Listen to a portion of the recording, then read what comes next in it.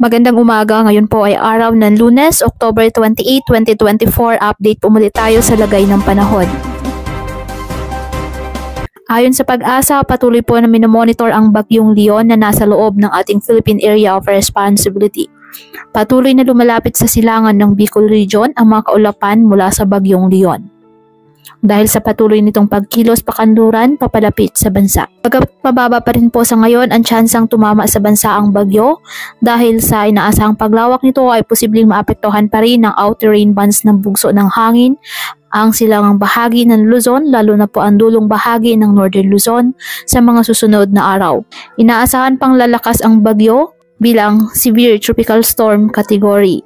Posible namang itaas ang signal number 1 sa bahagi ng Cagayan Valley at Bicol Region dahil sa paglapit ng nasabing bagyo. Taglay ngayon ito ang lakas ng hangin na 65 km per hour at may pagbugsong hangin umaabot sa 80 km per hour. Kumikilos naman ito westward.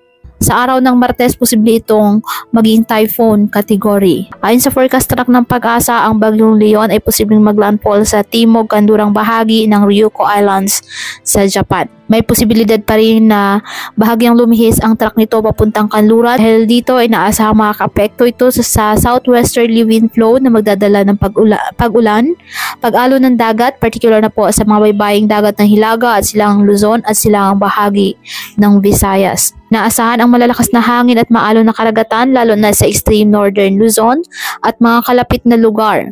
Mag-ingat po ang maliliit na sasakyang pandagat. Kaya patuloy pa rin po natin na pinag-iingat ang ating mga kababayan sa bantapon ng mga pagbaha at pagguho ng lupa lalo na kapag may malakas na ulan at ugaliin na magdala palagi ng payong o kahit anumang panangga sa ulan sa tuwing lalabas po ng ating mga tahanan.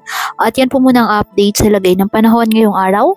Muli patuloy po tayo na mag-ingat at palaging tandaan God loves you. Stay safe and God bless.